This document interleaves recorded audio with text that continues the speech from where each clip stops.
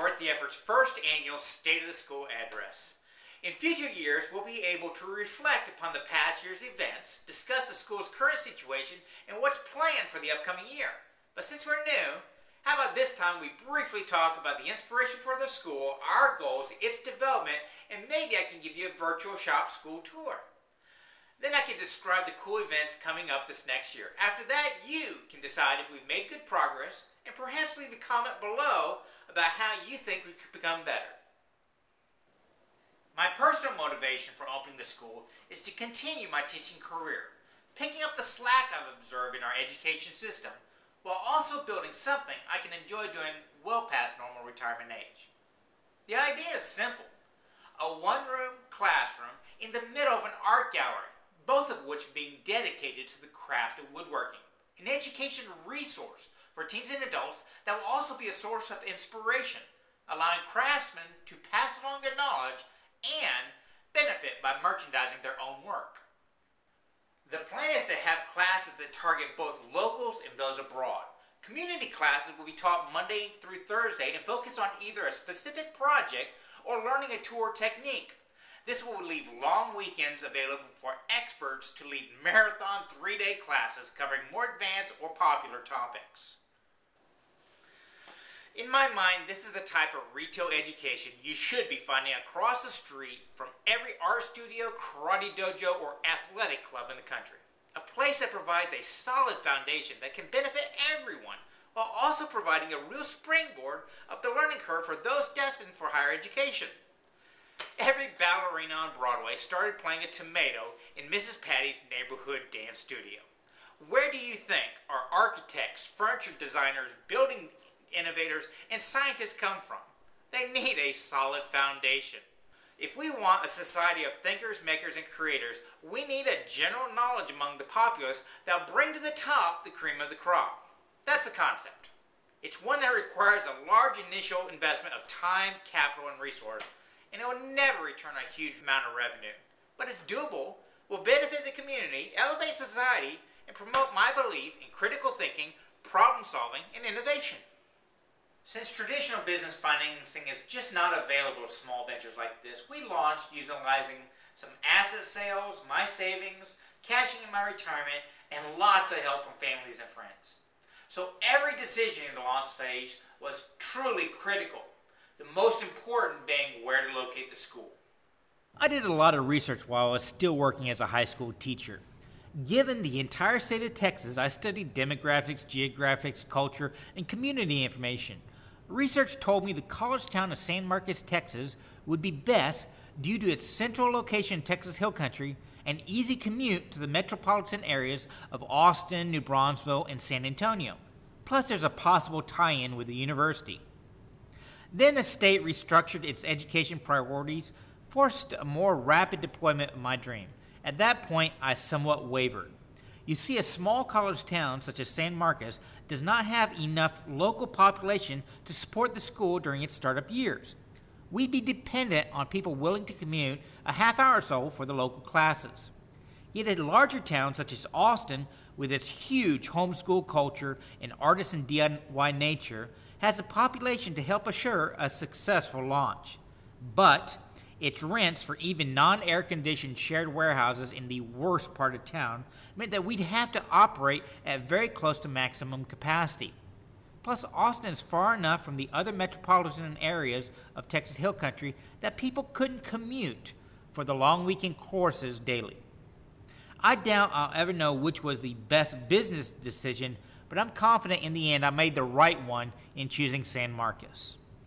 In San Marcos, I find a little spot a minute's walk from the classic Texas Courthouse Square, which is populated with numerous locavore restaurants and pubs. They also are constantly hosting family friendly events such as the Texas Swing Festival and weekly artist farmers markets on the grass in the shade of the courthouse's giant live oaks. It is also a short walk from Texas State University and in all its theater, sporting, and art events. Plus, there are spring fed rivers famous for tubing, a log cabin village, the LBJ Museum, music venues, and a movie theater just across this street or that. In fact, on any given day or weekend, there is some sort of entertainment going on just a short walk from the school. And given that this area has been continuously populated by humans longer than any other place in the Americas, you can rest assured the weather will be nice year round. Even mid January, you can find locals and students outside enjoying themselves along the spring fed rivers or on the banks by the university. The warehouse we found was the distribution warehouse for all of Central Texas grocery stores at the turn of the 1900s. Its cracked walls, uneven floors, poor electricals, and leaking roof were evidence of its history, age, and heavy use. But it was close to where I'd eventually like to be, had four walls, a door, and air conditioning. On my budget, I didn't think I could get much better. We moved in in June, and Dad and I immediately started repairing the brick block structure, installing interior walls, spackling, painting, sanding the concrete, and doing electrical. Since the first classes were in to start in July, it was a mad dash to then build the benches and appliances needed. Then every few weeks, I'd finish another bench, acquire another tool, develop more curriculum, and market. Our self imposed deadline for being able to effectively serve 12 students in a classroom was Christopher Schwarz's Dutch tool chest in November. Over that time, we experimented with different class structures, course offerings, free events, advertising, and the like while continuing a practice begun a year earlier of working farmers markets, artist markets, fairs, hand tool events, and even street corners to demonstrate and promote woodworking, build a client mailing list, and sell some small items we've made to help support the school. Which brings us to today. So let me give you a brief tour of the school. So it used to be when you walked in, this is what you saw. Now, when you walk in, you see a lot of workbenches. We have enough workbenches for 12 students, and along the back wall you'll see a little teacher's nook with whiteboard, digital projectors, TVs for magnifications, a little tool room. In the corner I have some tools I use to help me quickly dimension classroom materials such as a bandsaw, miter saw, thickness planer. I also have some personal power tools like a drill press, sander, and jointer. The workbenches themselves are just an overly simplified version of a mongrelized German, English, French hybrid. They are designed for teaching, not production. I want them to just be able to take a lot of abuse and last several lifetimes. Because the leg vices can be placed on any one of the four legs or interchanged left and right for lefties and righties, you can have up to 48 students in the classroom learning at the same time. So maybe in the future we could have a woodworking club so every meeting we learn something. They're designed to be used with lots of simple, inexpensive, easy to make appliances such as uh, bench hooks and even a little twin screw to help you work out. Again, these are teaching workbenches, not production. Some of the other appliances students make and use are things like peg sizers, clamps, bird cages, bench hooks, twin screws, strops, and lots of other little knickknacks Looking back from the teacher's nook, you can get, see a good idea of some of the artwork we have along the back wall that helps me teach some of the teen classes and just how small the school actually is. It's only about 14, 1500 square feet. Just around the corner from the teacher's nook is our tool room, and I have a small collection of tools, enough to be able to teach. Certain tools, like the hand saws, I believe I need to have enough so each student has their own. But things like some planes, like the jointer plane, I just need enough for people to share. We have shaping tools, chisels, hand planes, lots of O'Bailey's, these Veritas style saws. I really do like, but I do need to purchase some more gents because I found that the kids have a harder time with the pistol grips. I also encourage people to sharpen their own tools here at the school. Sharpening is a lesson that's free to everyone. I believe it's that important. And there's the chisels I'm always having to tune up. Out the window, you can see the rest of the school and get another vantage point. Along the back wall is the artwork, and yes, I do teach woodworking to teens using the periodic table and other artwork that I refer to constantly. Now, every woodshop has a junk room, and behind these curtains is where the sausage is made, where Oz pulls the levers. You walk through here, and it's just total chaos. To the right is a uh, bois d'arc tree I harvested to make a bunch of planes in the future. I got a refrigerator, a lot of excess wood. This is also where I keep a lot of the material I use on my weekend art fairs I go to, the little pop up shops, equipment. And it's just random storage for stuff that I do not use constantly. Yes, it's always going to be a mess, but every shop has a little nook like that. Here's some of the artwork we do sell on the weekends bowls, boxes, uh, little kitchen items, anything I can demo. So that's what we've built. Now let's talk about how we've been using it. From the get-go, I've approached this at, from three different angles. A retail side where we sold the artwork and the craft that our teachers and other artisans have made. Uh, classes for the local community, really focusing to build up the knowledge in our, our local base, and then hosting international woodworkers who want to come in and teach, utilize the facility to teach long weekend classes to people that come in from all over the state and country. Our local community classes, I divide up into two categories, either a teen or adult class. The teens, I took a unique approach and I am reinforcing academia in woodworking. I am utilizing the periodic table, you know, science, math, biology, social studies, history, uh, geometry, all these kind of other aspects to teach woodworking. It just, just as a reinforcement so the kids know that what they are learning is important. And when we first started, those first three months, boy, I really thought that was going to take off, especially within the homeschool community and kids coming after school to take classes. It was really going well. I will say this though, since school has gotten back in session, uh, those classes have utterly died out. I haven't had a single student enrolled in them. So I'm probably going to be changing that up and instead offering a wide range of classes through the month for the teens. I'm probably only going to offer one class in the evening, in the early evening, so kids can come in after school with their parents uh, throughout the school year. And then during summertime, I'm thinking I will really do an intensive, multiple classes every day, almost like a woodworking camp uh, that they can pick and choose what they want to learn. Uh, I have a feeling that's just the way it's going to be. Uh, even the homeschool community, they aren't coming during the school year. So we're adapting. Uh, the adult classes, they started off slow, but they're slowly building. I have a th- feeling that's just word of mouth. These last few months, they've slowly been enrolling more and more and more, and it's just been building up. I approach adult classes in two different pa- categories. I either do a project-based class where over a month we build a project like a display case, a table, a dovetailed step stool, or we have a basic class where we actually just build a tool, tool tote, but it's an extremely complicated tool tote that teaches a lot of different uh, techniques. Then I have a series of 12 classes, and this is actually the class, course I'm pitching to the university uh, to teach as a semester long class, uh, where each week we do an entirely separate lesson uh, like on dovetails, wards and tenon, or restoring hand planes, using hand planes, all about hand planes.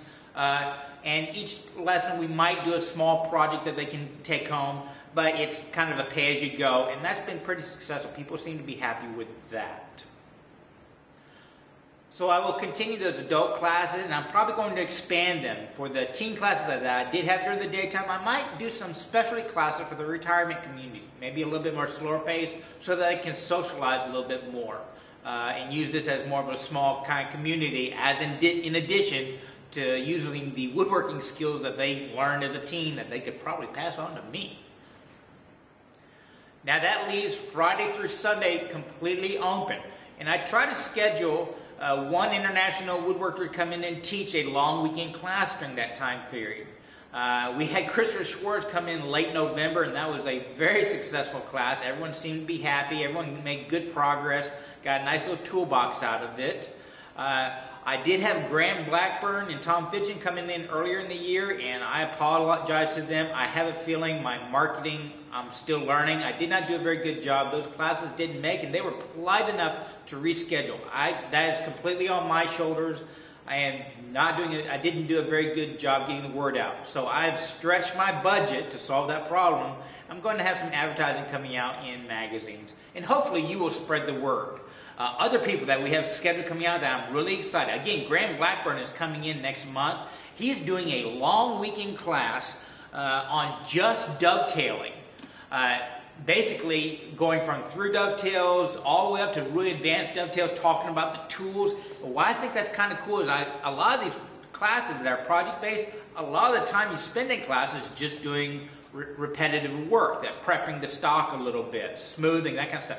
This is a skills-based class. You are going to get a lot of knowledge in it. Plus the fact, I don't know if you know this, Graham Blackburn, bestseller fiction list. Plus, the guy spent a lot of time on his own TV show interviewing some of the best people. You know this guy's going to be able to spin a yarn very well. It's going to be a fun, entertaining class. I also have Tom Fidgen coming in.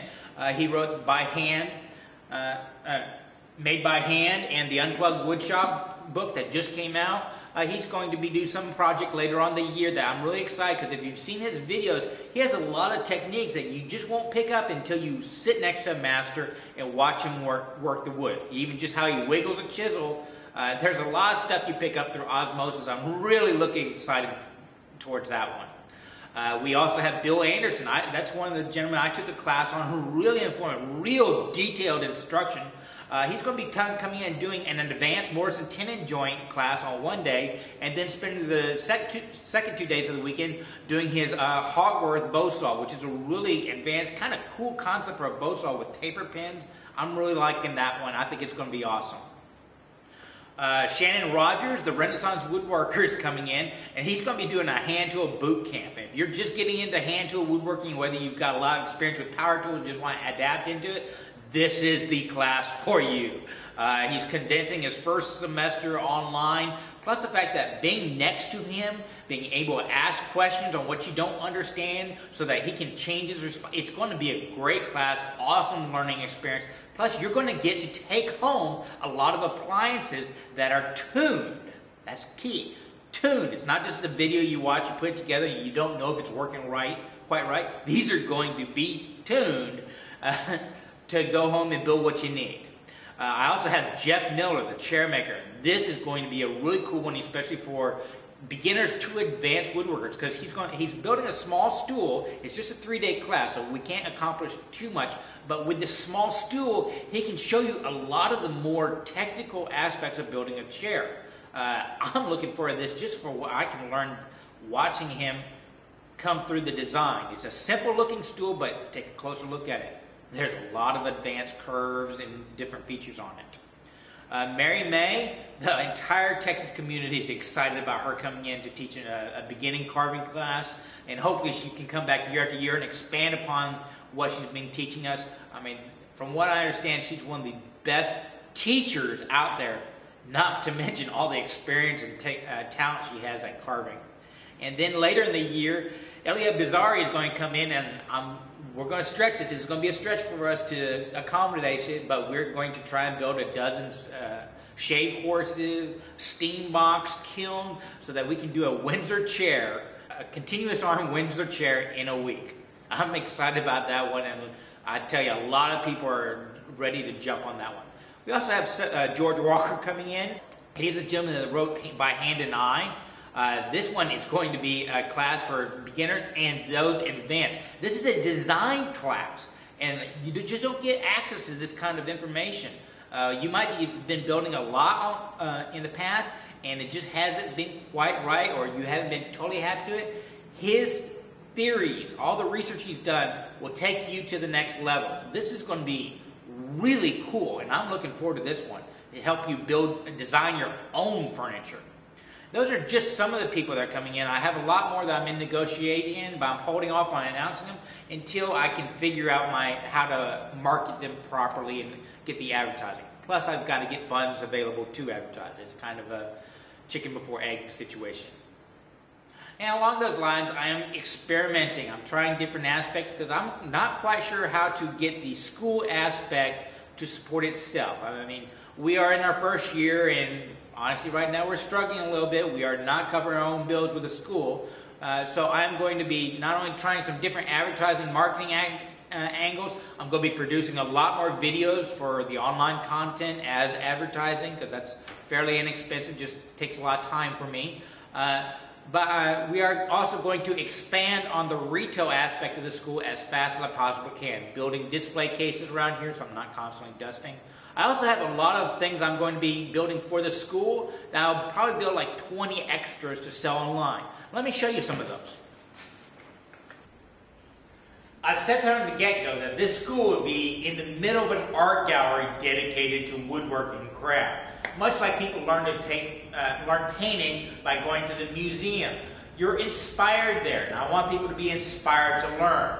So we will be selling in the upcoming months after I build the display cases Things like turn bowls. My father does a lot of turn bowls. I like to help him out, and I turn some boxes and stuff like that. My sister does a lot of glass work, and I'll be incorporating stuff like glass clocks and face uh, glass into a lot of the woodwork uh, cases and stuff to sell here.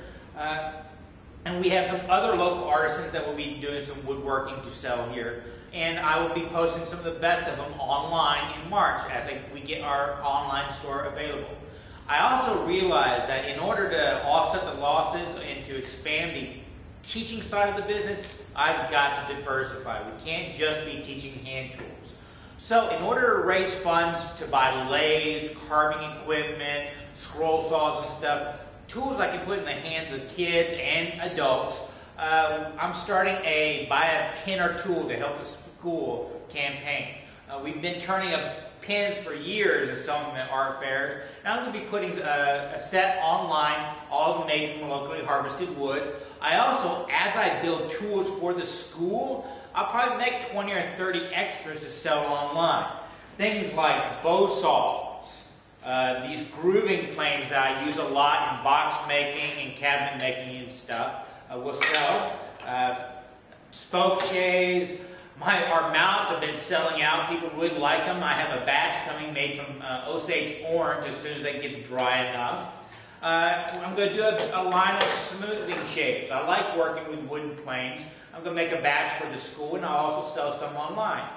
Uh, we'll, we also have some twin screws available. I made a dozen for the school, and we have about six or seven left to sell. Uh, all those will be available online, and purchasing them will help us buy other equipment so the school can diversify. So that's where we're at. Month nine of a backwards little startup business that created the product and now is having to develop the need for it. Uh, now merchandising a little bit of product to help offset losses for the teaching. Trying to figure out the best way to market, advertise, and expand uh, so that can, the school can support itself. If you have any ideas, remember, budget zero, please leave us comments on below on how to improve our marketing or the school offerings, anything like that. Uh, we really do appreciate any kind of feedback there. Uh, and remember, it's always worth the effort to learn, create, and share with others. Y'all be safe and have fun.